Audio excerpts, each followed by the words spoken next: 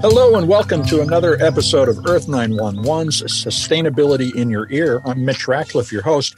And you know, the United States Environmental Protection Agency has put out a national recycling policy draft document uh, that is currently being discussed in Washington and across the country uh, as the basis for how both government and private uh, companies as well as NGOs are going to collaborate to improve the recycling rate in the United States over the next decade.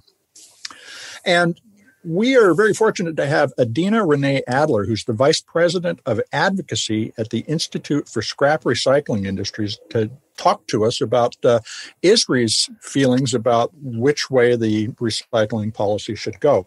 Let me just, before I bring her on, uh, outline what the recycling industry looks like in the United States. We have a, a, a recycling recovery rate uh, that's somewhere between 28% and 33 to 34%, depending on who's counting. And it accounts for more than 750,000 jobs $36.6 billion a year in wages and tax revenues of about $6.7 billion a year. So, this is a massive undertaking in our country that currently collects and exports uh, or processes about $110 billion a year worth of materials. The new EPA plan, uh, when enacted, is going to shape a lot of how we continue to invest. And I wanted to bring Adina on to talk about what we need to improve and what uh, opportunities there are for citizens to participate in this discussion as well. Adina, welcome to the show. How are you today? I'm doing well. Thank you so much, Mitch. I'm glad to be here. Well, uh, thank you for joining us. And ISRI, you know, does important work on behalf of the uh, recycling industry as well as recyclers, helping to articulate you know, clear guidelines about what to do. First, let me just ask you, what is your general take on the EPA's national recycling policy, and, and what are they trying to do from your perspective? Yeah, no, thank you for the question. Um, we're first of all, I just want to say we're very grateful to the U.S. EPA for taking leadership on developing a national strategy because we do we do believe in and we appreciate that they're trying to help us enhance the residential recycling system. Um, we've seen uh, a copy, of course, of the draft strategy, which is out for public uh, view and comment. Um, and it focuses on what we at ISRI do believe to be the core components that will help us all to achieve success.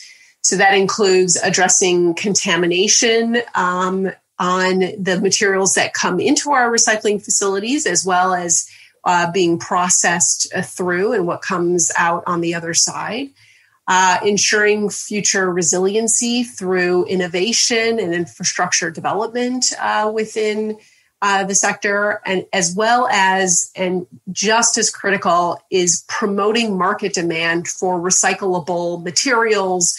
Uh, that come out of the recycling system to be put back into the manufacture of new products as well as promoting uh, market and consumer demand for goods that are recyclable. Now, one of the things you mentioned contamination, so let's talk a little about that first because it is the mixing up of both recyclable and non recyclable stuff, uh, whether it's in the blue bin or in the uh, collection process, that results in uh, what is known as contamination, and that prevents a successful recycling of the material. And amongst other things, that costs the United States uh, the opportunity to export materials to China a couple of years ago, which has radically changed things. How do you feel the policy undertakes to improve the recyclability or the recycling information that's available? Because that, for our readers, is always a challenge. They don't know what goes in the bin. And, and do you feel like the EPA is thinking about a, a wide enough consumer education process to, to start to change that? I, I do believe so, um, because the intent of the strategy generally is to lead to activities that strengthen um, our system, and that can only come through um, enhancement of uh, public participation in in any form, whether it's just putting more products within their recycling bin, as well as uh, any activities that they can take within their households to improve the quality of, of those materials.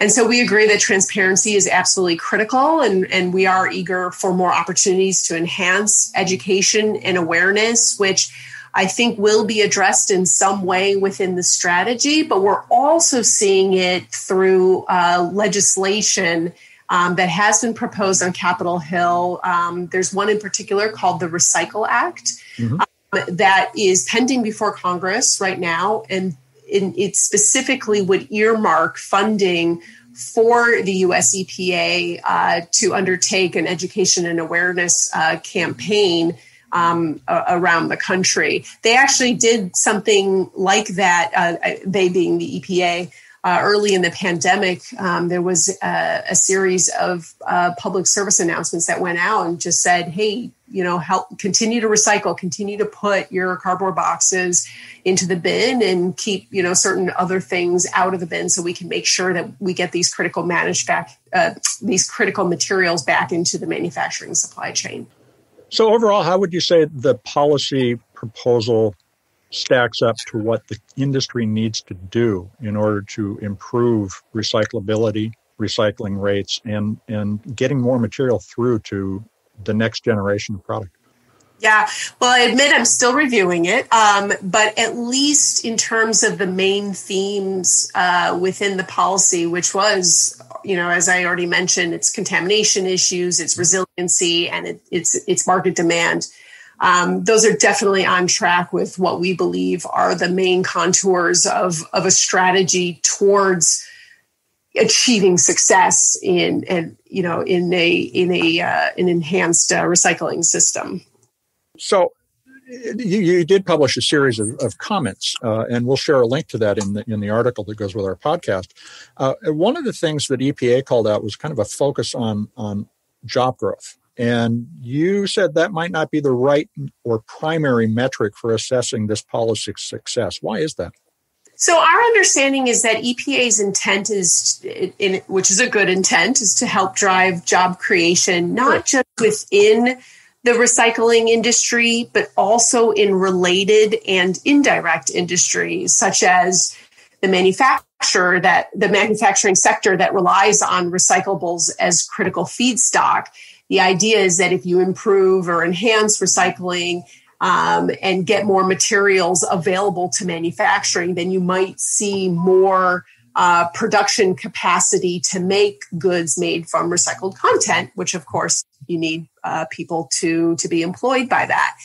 Um, but in terms of the comments, the re- one of the reasons we didn't feel that this was a primary metric for assessing the success of, of this strategy to enhance recycling is because innovation and systemic efficiency in recycling can come in many forms, mm-hmm. as through new sorting technologies or even optimizing business management practices.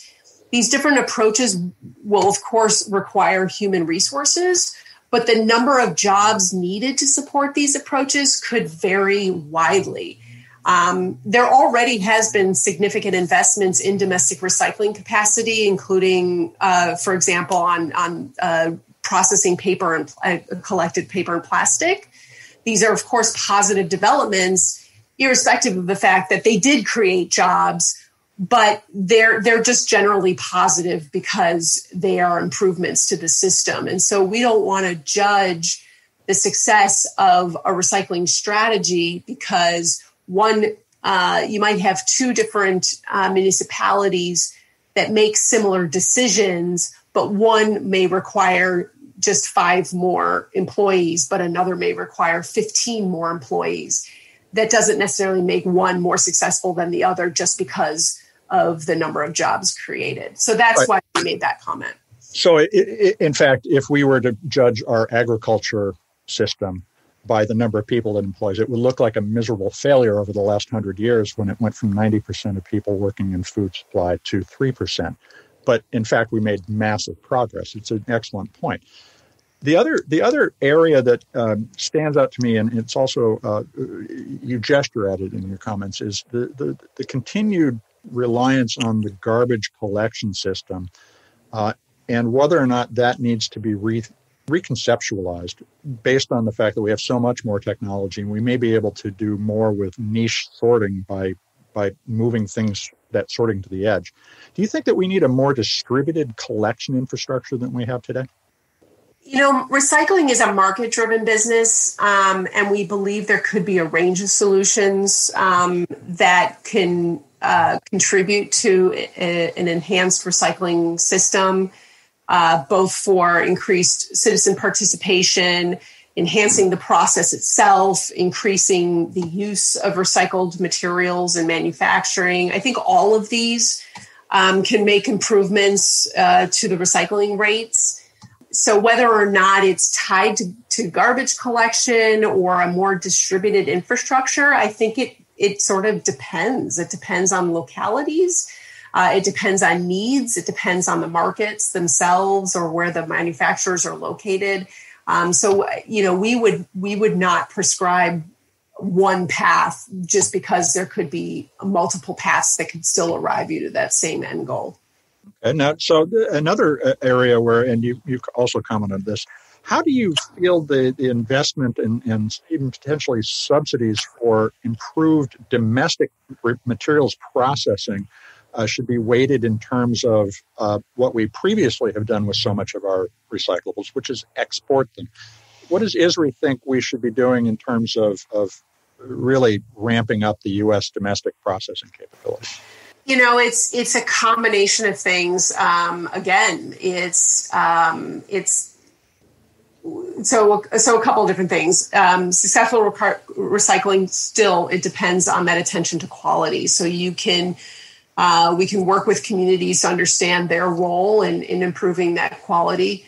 Um, and that would be, it, it, could be on the part of the federal government, the part of the state and local governments. It could even be on the part of us recyclers, on brands, all the stakeholders to fully to work together and fully understand, you know, what we could all be doing to enhance recycling. Um, we we also do not have good federal definitions of recycling, which mm-hmm. it, it, it, impacts how um, how recycling and solid waste, trash collection, all of these different things are addressed and regulated by governments. Um, recycling is essential to the manufacturing supply chain. Full stop. We are producing and processing materials that feed into the manufacture of new goods. We're not solid waste processors, but we recognize that there are facilities that sometimes handle both solid waste as well as recycling. And so we do uh, we do need and we try to work with the EPA and with the Congress to come up with opportunities where we can set clear definitions so that we can understand then how we oversee these operations and then you know there's always talk about funding and, right. and, if there is an opportunity of funding where does that go and we're very circumspect about um, certain proposals that seek to pour a lot of money into collection and uh, public recycling infrastructure projects um, because it, you know you can you can pour in a lot of money and do a lot of increased sorting but if you don't have the market demand for those materials unfortunately you'll have well sorted trash. It'll just go to landfill. That is to say if we don't have manufacturers that want and need recycled commodities to put back into the making of new products then then why would there be a recycling system? Who who would we be recycling for? And and then you do have recycler recycling companies that are both public and privately owned, and so pitting one segment against another does not necessarily make for a functioning market system and a functioning system to be able to feed into that manufacturing demand. So long story short, there's there's it's an it's another response to say there's a combination of of ways that we can address these ideas. Well, and, and, and, point well taken, because of course the prices for recycled commodities have gyrated wildly, particularly during COVID. Uh, and, we're, and, we also see right now a, a market disconnect around aluminum. Uh, aluminum manufacturers can't get enough of the recycled stuff, and because of COVID and the interruptions in in the system, there's not enough aluminum to recycle. Now, do, uh, we've also seen just uh, um, as commentary a lot of uh, investment in the last six months in uh, acquisition of recycled materials. Nestle, for instance, is putting about $100 million uh, against uh, buying more recycled plastic. Do you feel like at this point, recyclers are seeing increased interest in the materials that they produce from manufacturers? Is, or is that an area where the EPA can get involved and create more incentives for reuse of recycled materials? Well, I think it's both. I think we are both seeing, and, and you you touched on plastic, So, you know, there's a difference between plastics and metals demand. Um, metals, uh, you know, you're right that aluminum manufacturers cannot get enough of, of the material they need, and the pandemic actually had a significant impact. But that's a that's a manufacturing segment that has had strong demand for recycled content for decades. Decades, yes, exactly for a very long time. Steel also, you know, you have a 70, 70, 70% uh, uh, capture rate, you know, for, for steel scrap as well, going back into steel mills. So that's something that's been there for, I would say, even centuries, very, very long time.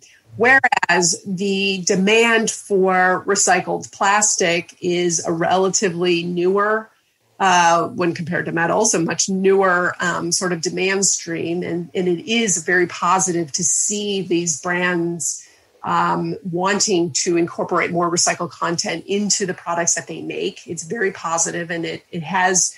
Um, you know, helped spur uh, some of the investments that we are seeing in recycling capacity to be able to meet uh, some of that demand. But I do think that more can be done not just by EPA, but even if it's the federal government, for example, you know, there's been there had been talk before the pandemic about a major uh, uh, infrastructure bill, right? And not only would you know we're very supportive of that because we depend so heavily on um, our transport network to get materials from from households to recycling facilities and then from recycling facilities to the manufacturers and so we need you know well built roads bridges you know a well functioning railroad and marine system to make sure we're moving materials around but also they were talking about building new bridges and building new roads and building you know new rail spurs, all sorts of things. Yeah. Yeah, all sorts of things. And you can use recycled content in all of that. so that also would have spurred demand uh, for for materials that come out of recycling processes. So so that's you know that's where the the federal government can always have whether it's through project development or it could be through tax incentives. Um, we also uh, we do have a bonus depreciation allowance for tax allowance for um, the heavy equipment uh, that is used in recycling facilities. Um, that is very helpful right now, but that's a tax benefit that is not permanent. We could also see the federal government make that permanent, and that would also spur investment within recycling as well because you can uh, offset, offset the cost of those uh, of that equipment so I think again, there's always the range of, of ideas that can help uh, spur uh, investment in the in the sector. How do you see uh, various states' efforts? Know, California recently passed uh, a, a, bill that uh, introduced aggressive plastic recycling goals, and uh, New Jersey is in the process of debating many of the same issues. Does the EPA plan take into full account the need for states to take the lead sometimes and and follow definitions, for instance, of what is recyclable that might be provided by the feds in the future. Uh, we do see the opportunity and hope for the opportunity in the future for the EPA to take that leadership role. We've been uh, advocating for that for years, um, that they issue guidance uh, that clarifies uh, definitions of solid waste, definitions of recycling, um, that then the states could use and implement uh, within their jurisdictions. Um, and so we're we're hopeful that someday the EPA would take that up and, and, provide that guidance to the states because you're right, there is a whole range of state policy that is being developed and passed and implemented that you know some of it, it's it, a lot of it most of it or actually, I would even say almost all of it is well intentioned. Um, we we support some, we don't support others, mostly because uh, we are a for-profit industry. It is a business. Recycling is a business. And um, we just want to make sure that these legislative proposals don't interfere in the market dynamics that create supply and demand for recycled content that then spurs innovation and investment. Um, so some of them do that and some of them don't. And, and so that's what we're looking for. So to the extent that EPA can provide that guidance, uh, could be a, a tremendously helpful. Yeah, in a way, that to me, it's like they need to define the rules of the game because, as we were talking about before, recycling is a participatory sport. If people don't participate in it, if we don't put things, the right things in the bin, or we mix the wrong things together and send them through at a, a, a transfer station, it actually undercuts the the entire system. As you look at the EPA's proposal, does it do too little or not or too much to increase the, the definitions that we need in order to all know that, you know, this is a recyclable object, regardless of which community I live in. And and and also we can use that definition to create greater transparency to say, are we really capturing all of this PET plastic or all of this aluminum? Are are we really are we aggressive enough about the fact that good definitions are widely needed across the United States?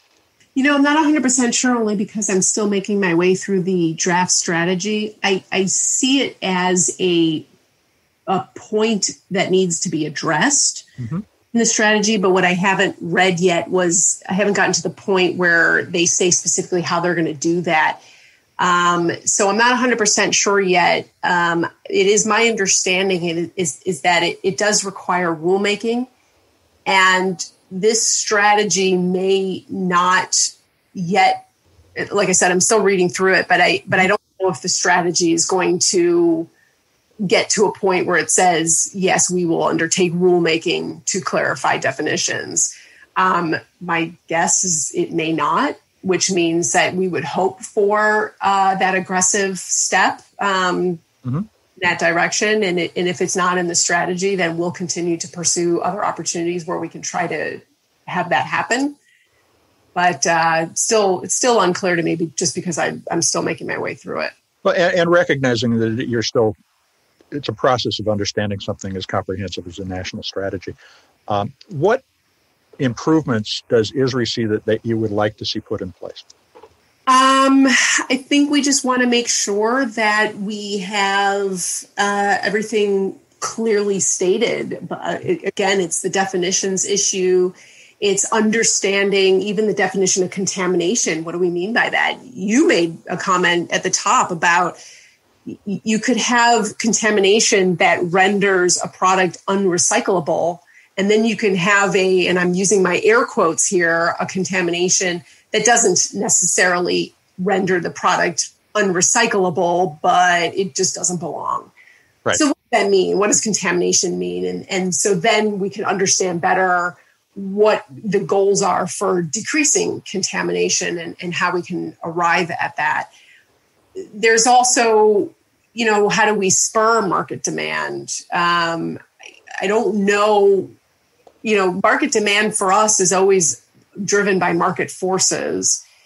So it's hard to say that we need EPA to stimulate market demand through some policy or regulation when that actually is technically an interference in the market. So when I'm when I'm not supportive of a recycled content mandate in in a state bill, you know, to mandate a certain amount of plastic be incorporated in new plastic packaging, you know, it it is a good policy on its on its on its face, but at the same time, it's an interference in the market. So I'm not sure I would necessarily want EPA to also interfere to you know do more to stimulate that demand. So it's a you, you kind of have to balance that a little bit. Um, and uh, I'm not sure that this strategy can you know, really dive into some active, you know, regulatory, political, legislative policies that might be required to really achieve success in a short amount of time.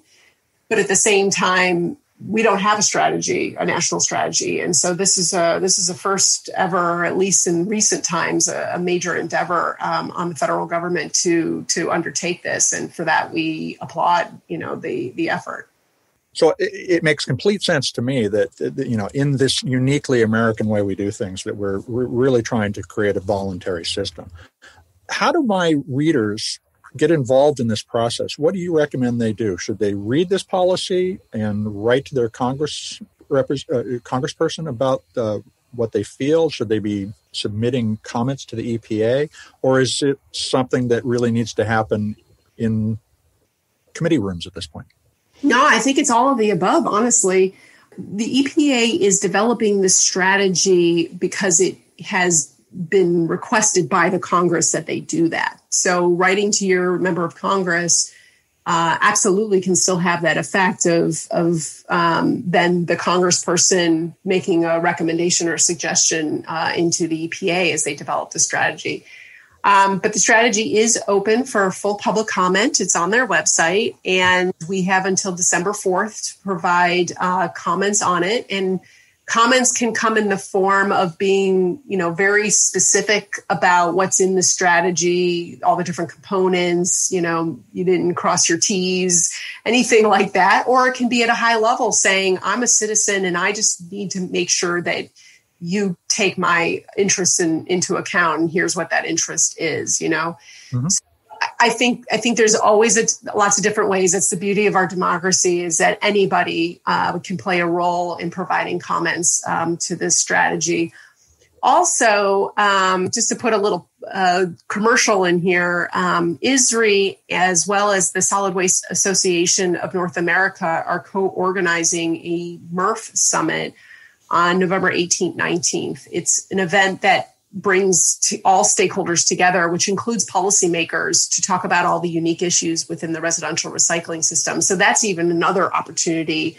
where we can have folks come in and um, listen to what policymakers are busy with. We will have um, a senior official from EPA speak who will probably be touching upon the recycling strategy. And um, everybody would be more than welcome to ask questions uh, of him or make suggestions of him uh, as uh, as they develop it. So that's also another opportunity that can uh, be heard. Well, well, we'll point to that uh, uh, in the article. So, the last question: the public comments period ends on December fourth. Uh, there's a national election on November 3rd. Could that change the trajectory of this policy? Because uh, the, the, the strategy is actually mandated by Congress to develop, um, I think it will still continue to be developed because you have non uh, uh, you know political appointees working on this, very hardworking um, uh, career staff that are working on this. I think the question will be how it's implemented and whether or not, if it's the current administration, if they are reelected, or if there's a new administration that comes in, it'll depend on what they may focus or, or how much attention they want to focus on recycling and how much they want to roll out the strategy itself. I think regardless of that, it's a it's a it's a just process wise, as I said, I, I don't know if EPA has ever done this before. And so I think just getting communities together to talk about you know how would you pursue a strategy to improve recycling i think in it in and of itself is going to be a great learning experience for all of us and could and, and could still stimulate opportunities for us to try to pursue aspects of the strategy even if we're not under some obligation to do so well, uh, Adina, thanks so much for uh, sharing your thoughts on the national recycling strategy. You're welcome, and I was so glad to to to be here with you all today. So thank you for the opportunity. Well, we'd love to have you back as this continues to evolve. Folks, uh, that was Adina Renee Adler. She is Vice President of Advocacy for the Institute for Scrap Recycling Industries. It's a Washington, D.C. based industry research and advocacy group. Uh, you can check them out at isri.org, I S R I dot O-R-G the National Framework for Advancing the U.S. Recycling System from the EPA uh, will be uh, formulated uh, and uh, enacted over the course of the next couple of years, as we've heard. Do get involved and take the time to check it out. We'll have links in the uh, article related to this podcast, and we encourage you all to participate in recycling generally, as well as shaping the future of our recycling. This is Earth 911 Sustainability in Your Ear. I'm Mitch Ratcliffe, and we're going to be back with another innovative interview soon. Everybody, stay safe, stay well, take care of the Earth. Have a good day.